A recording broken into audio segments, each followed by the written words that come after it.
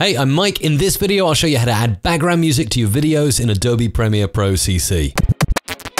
Get involved in one of my upcoming audio production courses. They open every couple of months for enrollment, and I always accept a maximum of 20 students each time so I can provide personal one on one coaching to each and every student.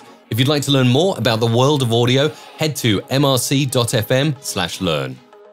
So here I am, I've got a sequence with a video that I recorded earlier, and now I need to add some music to it. Well, luckily I downloaded some from Epidemic Sound. They're really good, royalty-free music for YouTube channels. Uh, you can go and subscribe to them at mrc.fm slash music if you're interested in cool tracks uh, like this one that I've just dragged in uh, to my sequence here.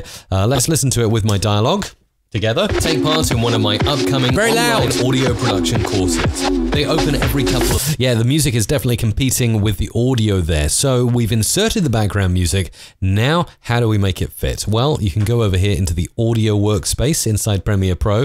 Uh, and then you'll see over here on the right-hand side, you've got the Essential Sound panel, which is fantastic for doing things like this. So first of all, I need to tell Premiere Pro that this track here, this track with me speaking on it, is a dialogue track.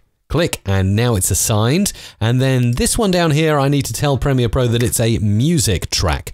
That's my first step. Now I can go in, I can either select a preset, but the most exciting thing about this is I can enable ducking to automatically duck the music when I'm talking and then raise the level of that music when I finish talking. This is amazing and such a time saver. It saves you having to go in and add keyframes and uh, fade down and fade up. All of that is now completely gone with the ducking feature inside Premiere Pro.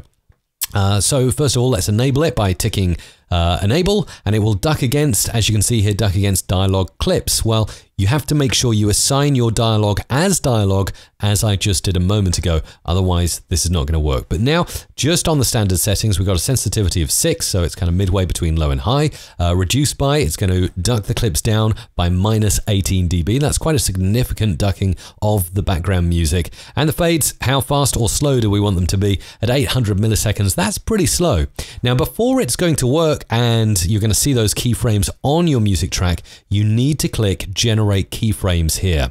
Click it and boom, there we go. Look at that. So the music, as you can see here, is shaded out. It's ducked here, and then it fades back in at the end of my speaking. Let's listen to how this sounds. A little sample. Head to mrc.fm slash learn. Fantastic. So that is a rudimentary uh, use of the ducking feature. Obviously, it ducks it when I speak, uh, and then it slowly fades it up when I finish speaking.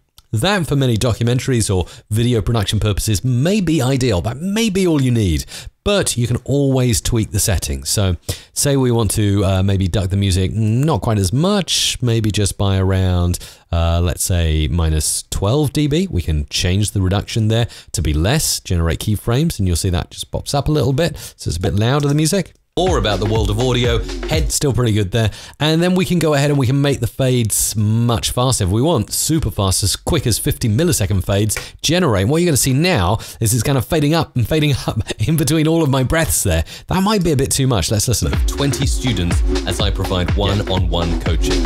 If you're interested, it's kind of fading up every time I stop speaking. So that's super, super sensitive. Obviously, I can reduce the sensitivity a bit here. Let's do that. Regenerate keyframes. Now you can see it's hardly doing anything, so I need to increase the sensitivity and again generate keyframes. And we just need to kind of find a sweet spot here of the sensitivity and fades. Once we've got a good re reduced by, this might be a good fade. Let's listen to this now at the end. fm slash learn. That's pretty good. And if we find that the music has gone too high, too hot at the end, we can always zoom right in here and just drag that keyframe at the end and move it down by a few dB there so there's not such a big drastic volume increase. Learn.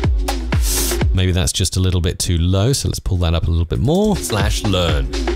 And there you go, you can hear the music bed slowly increases instead of a dramatic kind of whoomph at the end of my speech. But as you can see, this ducking on your background music inside Adobe Premiere Pro CC and the Essential Sound panel is absolutely huge. Uh, just make sure you assign your dialogue clip as dialogue first in the Essential Sound, then your music clip as music, and then you can go away. You can even use some of these presets, which are really cool as well. Balanced background music will kind of reduce the volume of the music, see, like that. So everything everything can be heard, or you can go for a vocal ducking, a hard or smooth ducking, or duck against absolutely everything that's going on in your sequence. The possibilities are really unlimited, and it really does make mixing in music with dialogue on your video productions super easy and uh, super straightforward.